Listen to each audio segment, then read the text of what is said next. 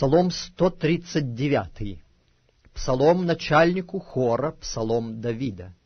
«Избавь меня, Господи, от человека злого, сохрани меня от притеснителя.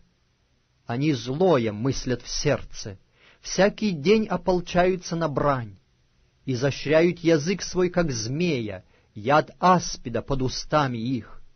Соблюди меня, Господи, от рук нечестивого, Сохрани меня от притеснителей, которые замыслили поколебать стопы мои. Гордые скрыли силки для меня и петли, раскинули сеть по дороге, тенета разложили для меня.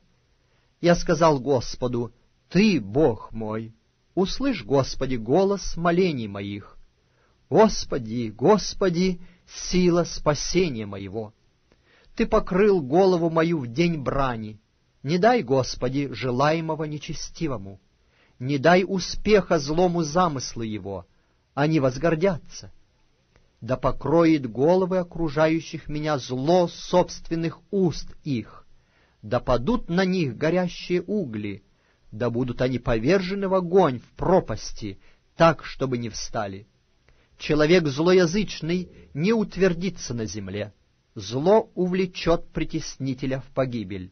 Знаю, что Господь сотворит суд угнетенным и справедливость бедным. Так праведные будут славить имя Твое, непорочные будут обитать пред лицом Твоим.